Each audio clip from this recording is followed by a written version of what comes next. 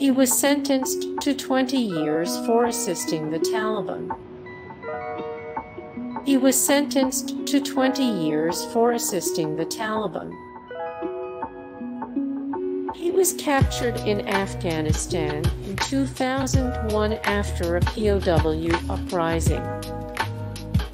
He was captured in Afghanistan in 2001 after a POW uprising.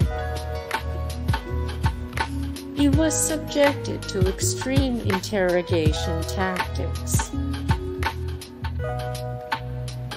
According to intelligence reports, Lindh praised ISIS and advocated for jihad while behind bars.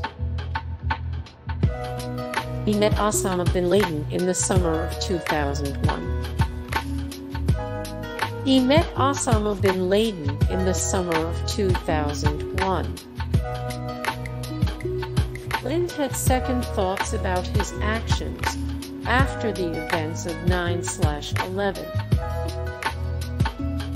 He was introduced to Islam through Tupac and Malcolm X. He was introduced to Islam through Tupac and Malcolm X. He believed the attack on the USS Cole was a justified response to American aggression. He believed the attack on the USS Cole was a justified response to American aggression. Hey guys, thank you so much for the support and likes and comments down below and also thank you so much for watching and I look forward to see you in the next video then. Take care.